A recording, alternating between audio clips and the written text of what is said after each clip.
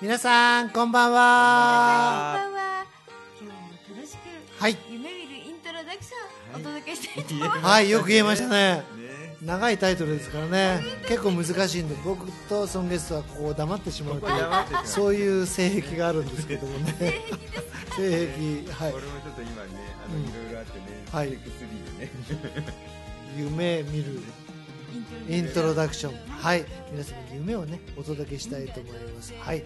ドリームボーイ。自己紹介じゃあお願いします。はい。えーシンガーソングライターのソング S です。イケメン。はい。はい、えー、障害獲得賞金0円。プロテンスプレーヤーの南雲和則です。よろしくお願いします。よろしくお願いいたします。和則愛してるっていう声がよくね、あのライねブで愛してる愛してるって。いろんな方に愛されてね。誰も言わないですけどね。はい。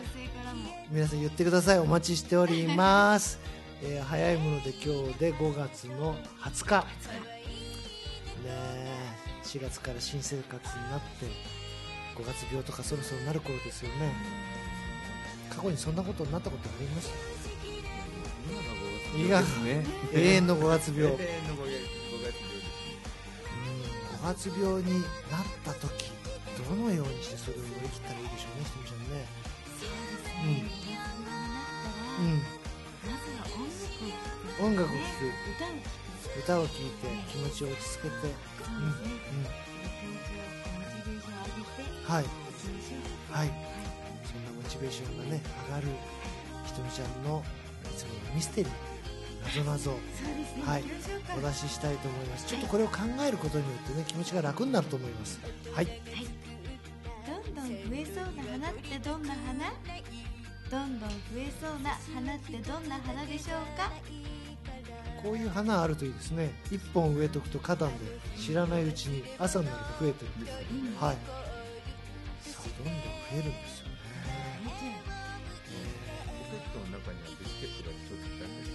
叩くとね2つになった。り割れてるだけなん。ですそんな感じですか？そんなわけじゃない。じゃあヒント色は何色ですか？色はね色うんい。ろいろですね。いろんな色があるということでございます。皆さんじゃあちょっとコマーシャルのように考えてください。どうぞ。ひとみちゃんがね皆様にお出ししましたミステリーでございますどんどん増える。どんどん増える花です。お花。はい。ソンゲスさんはここのとこね毎回連戦連勝ですけど今回は結構苦戦してましたけど。ここはちょっと苦戦してます。はい。わかりました？なんですかね。うん。ちょっとググったりしてみたらどうですかね。ググってあググって 増える花。はい、えーディレクターもねもう僕は考えたくないっていう顔で見ておりますけれども ひとみちゃんじゃあ正解を教えていただけますか？正解はうん。増加です。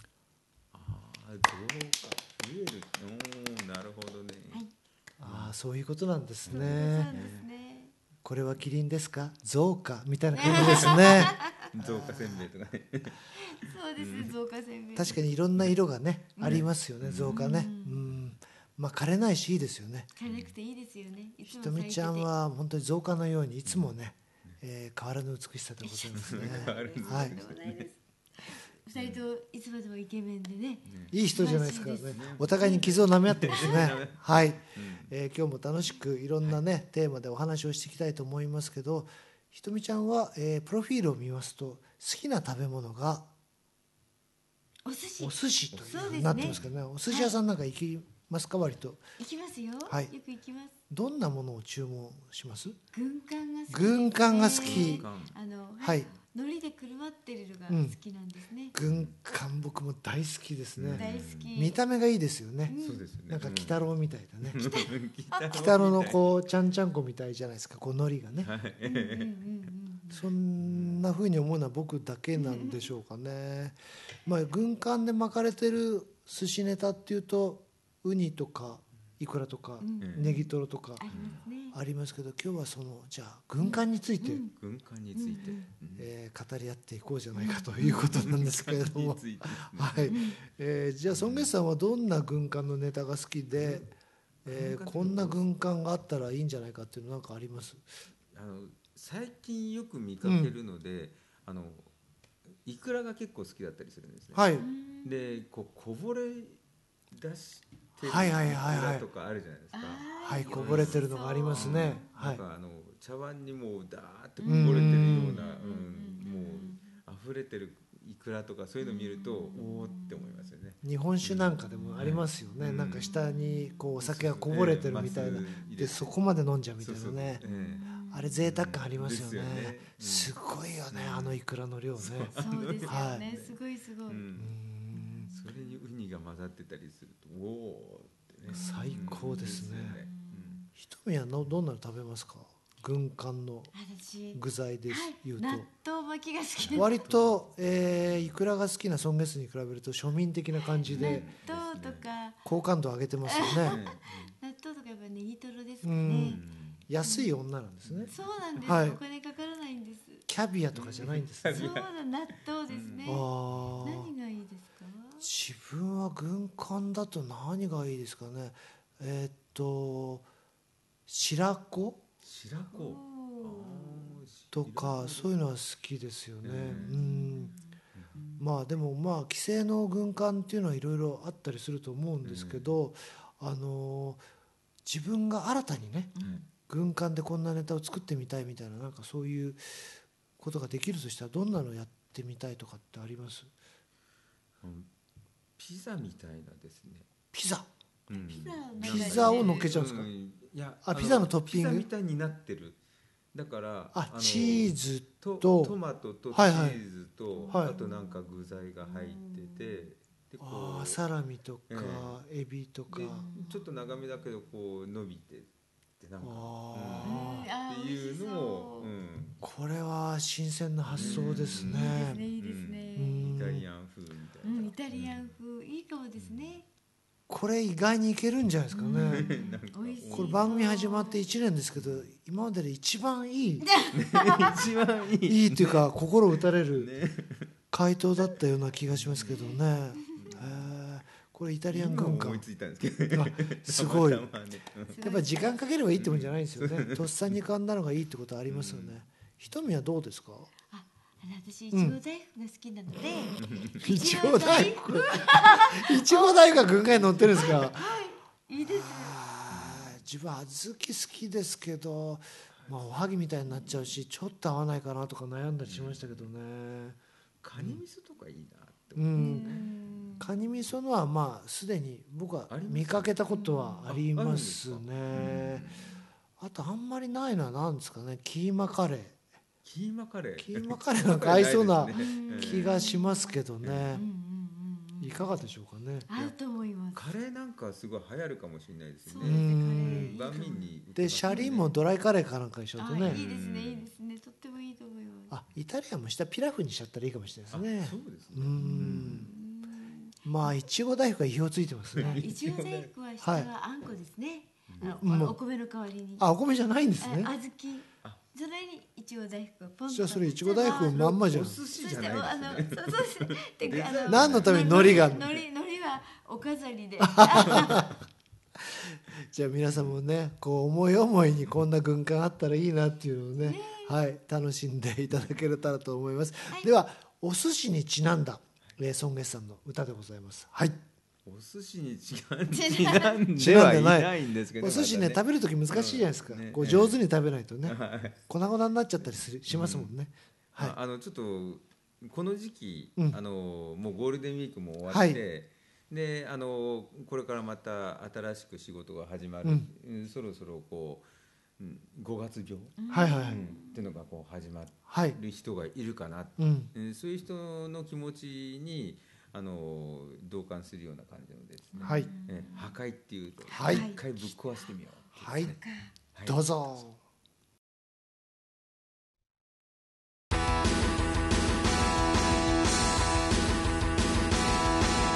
跡形もないくらいに全てぶっ壊せ。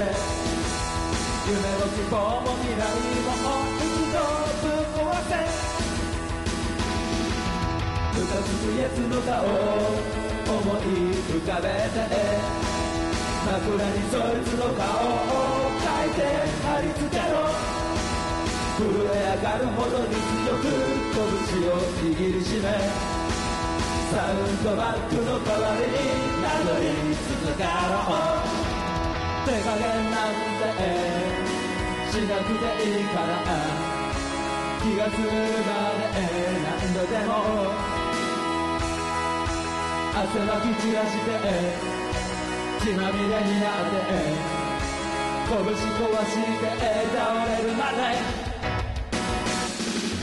跡形もないくらいに全てぶっ壊せ夢も希望も未来も一度ぶっ壊せ跡形もないくらいに全てぶっ壊せ夢も希望も未来も一度壊せ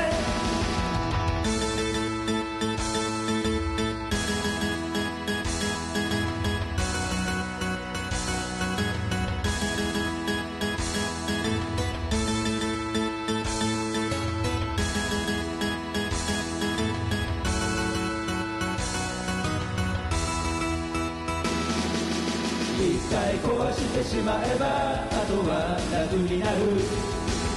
初めの一歩を踏み出す勇気を振り絞れ。持ち上げられないほどの熱いハンマーを思い切り真上から一気に振り下ろせ。廃墟の後には虚しさしかない。そんなことぐらい分かってる。それでもいいから。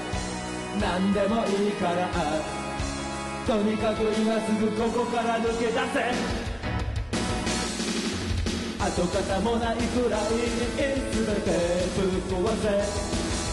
夢も希望も未来も一度ぶっ壊せ。跡形もないくらいに全てぶっ壊せ。夢も希望も未来も一度ぶっ壊せ。跡形もないくらいに全てぶっ壊せ夢も希望も未来も一度ぶっ壊せ。何にもなくなった後にそこから這い上がれ。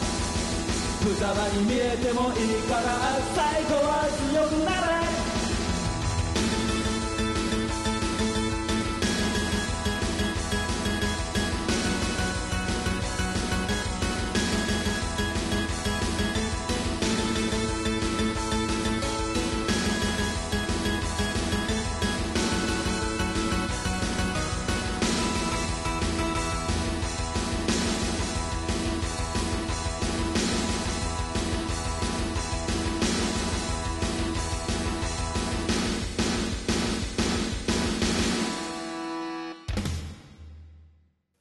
さあ後半もね楽しくお届けしてまいりましょう、はい。えー春になるとこうなんか上着も脱いで、もうなんか着てるものもだんだん明るくなってね、えー華やかな気分になりますけれども後半はファッション。洋服についてちょっと語り合っていきたいなと思うんですけど普通の洋服じゃ面白くないのでね、えーこんな洋服があったら便利だと。あるといいなという洋服についてちょっと語り合っていきたいなとあ 思うんですけれども孫月さんはどうですか？なんか日々こう洋服いろいろ着てて、えーこんな洋服あったらいいなみたいな。なんかこう便利だなみたいな。あると便利なようあると便利な洋服。はい。なんかありますかね？うん。ひとみは何かあります？あります。あります。はい。あのちょっとステージで歌を歌う時に、はい。自分がこうこうちょっとなんなんですかね。何ですかこあの、はい。機械機械うん機械っていうかスイッチを持っていて。スイッチを持っていえてここのところに挿して。はい。である曲の時はこうファニーがパッとこう広がる。うーん。である時はヒュンとしぼんだり、はいはいはい。そういうこう自由自在にね曲によって華やかに上がったり下がったりする、ね、え自動自動スイッチ付きのファニはいはい。あの皆さんパニエってねえーわからないかもしれないですけどスカートの下に履くなんていうかスカートがこう広がって見える。ちょっと見せてあげてくれます。入りますかね。こんな感じでございます。ちょっと立ってみて。はい。はい。えっとこここんこんな感じになるような、はい。ひらひら。下にねうん、履くものです。これがこうパーッと開くと悩ましいわけですね。そうですねその曲調によって広がったりさ、ねしぼんだり広がったりします。こう一番前のお客さんだとこうパニエがパーッと広がると おおみたいな。キュン死みたいな感じなんですね。ちょっとここでみんなを虜にしちゃおうっていう時は多めにこうグーッと上げるわけですね。これはいいですね。いいですね。まああ僕が考えたのはまあ2つほどあるんですけども、えー自分はよくまあ何ですかね階段から落ちはしないんですけど、落ちそうになることが結構あるんですよね。でこれからやっぱり何ていうんですかね、えー雨の季節もなりますので滑りやすくなったりするので転倒したりすることってあるじゃないですか、その時に未然に怪我を防いでくれるようなパッド付きのスーツ、はい。えー転んでも例えばこう膝頭を打たないとかね、そんなような服があったら、えー階段を自由自在に駆け上っても、転倒しても安心みたいなのがあったらいいと思いません？いいですね。いいですよね。ひとみちゃんなんかもよく地下鉄の駅からでね階段から落ちたりするので あると便利ですよね。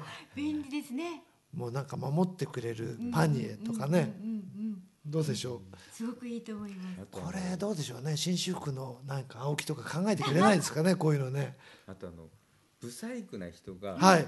あの来たらあのモテるうーん。ような、ん。あの結構イケメンとかって普通にモテたりするじゃないですか、うんうんうん。でそういう人はいいんですけどブサイクな人が来たらモテるような服って、まあ、あの性格が良ければはい。モテますけど、それって具体的にはどんな感じですかね？ねなかなかこうどはい。モテなくってこう、はいねあの落ち込んじゃってる人とかうん。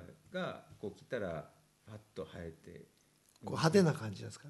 ローランっていうかドさんみたいな。その相手の心をこう、うん、ときめかす。そうときめかすようなそういう服があったりする。なんか風水的にねなんか相手が好きになっちゃうような色合いだったりとか逆ねにイケメンだったらちょっと落ち,、落ちちゃうような。逆転しちゃうような、うん、服だったそりんな服あったらね。買います、はい。私も買います、誰か作ってくれないですかね。ち側の人間です、あとねヒトミングッズでこの抗菌仕様のマスクケースっていうのがあるんですよ。今皆さんマスクをね使われると思うんですけどこう食事の時とか何かこうジュースを飲む時にちょっとマスクを外しますよね。でそこらに置いといたりするとうっかりこう地面に落っこっちゃって、えー不衛生な状態になったりとか他の人にちょっとなんか嫌な視線を向けられたりすると思うのでこういうまあ、マスクケースに入れると、まあ、マナーというかエチケットがいいと思うんですけどこれがジャケットとかに内蔵されている、マスクケース内蔵のジャケットとかあれば、そこに入れとけば抗菌仕様だし、またこう取り出してつけても衛生的だということで今の時代にいいんじゃないかなと思うんですけどもいかがでしょうかね三宅一生さんこれ。デザインしてみたら。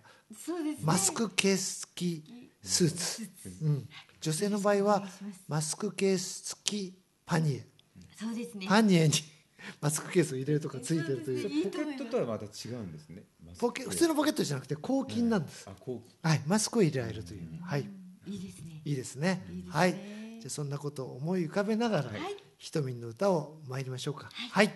はい。小学や千歳師匠作詞でございます。はい。会ってください。どうぞネ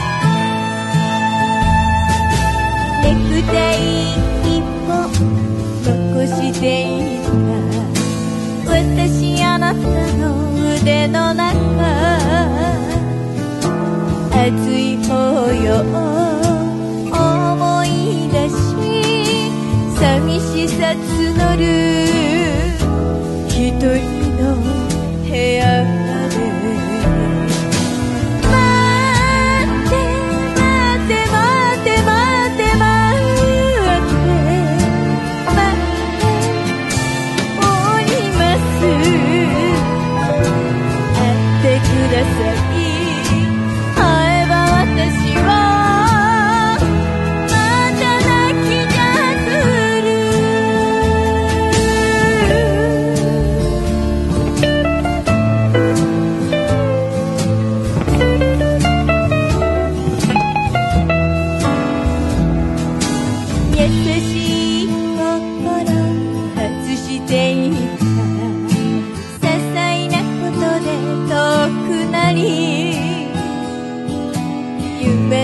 夢の誘いで会いたくてここまで来たの。